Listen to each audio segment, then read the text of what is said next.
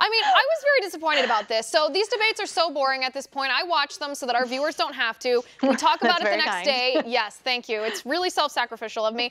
Um, I this should not have been a dis- difficult question for them to ask. They should have just said, "Is this true?" And if not, are you saying Elizabeth Warren is lying? Then they should have turned yep. to Warren and said, uh, "Is he lying?" How hard yep. is that? I mean, I mean, really, if if this had been a Fox News hosted debate and this had happened, can you imagine the outrage towards, or even somebody like yourself had been a host over at OANN and this had happened? They would have said, "Oh, that's so wrong. The conservative media is coming after Bernie Sanders." This was an attack from CNN and a CNN reporter. The original story was sourced to CNN. You know, speculation is that it came from the Warren campaign herself. BuzzFeed did some did some follow up, uh, you know, looking into this, and they said that he did say something along those lines as well it really seems like a hit job from the Warren campaign that CNN just bought hook, line, and sinker.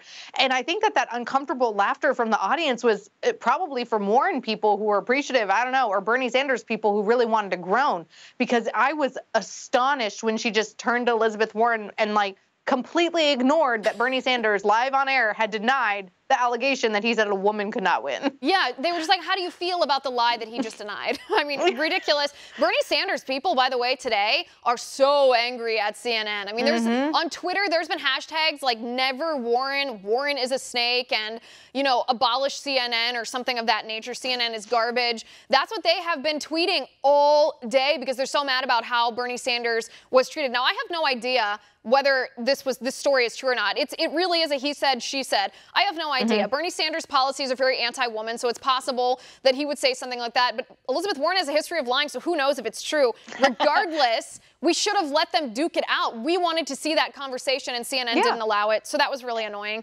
And so, I really think that the Democratic voters have a right to see that conversation as well. Definitely. I mean, if it's going to be between these two incredible socialists, you know, Bernie Sanders is actually more borderline communist and has spoken, you know, and lauded the communist regime before. We need to be able to see who is lying, where did this come from, what did you really say? And it's very interesting to me that he hasn't disclosed what he really said. I'm assuming, and this is totally cross conspiracy corner for a moment, I'm assuming assuming that he said something like, hey, Elizabeth, yes, a woman can win. Yes, Hillary Clinton won more of the popular vote, yada, yada. But do you really think you can win against Donald Trump? And I think that he doesn't want to admit that he said that.